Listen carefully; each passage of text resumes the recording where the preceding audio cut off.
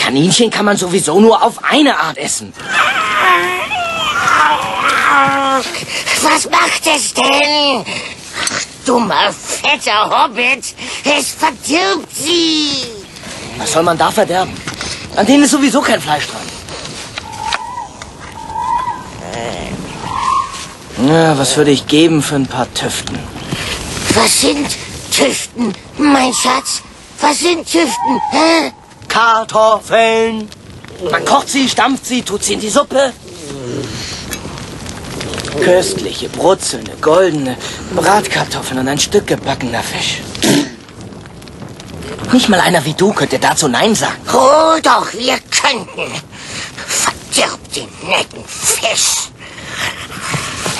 Gib ihn uns roh und zappelnd. Behalte garstige Bratkartoffeln. Ich geb's auf.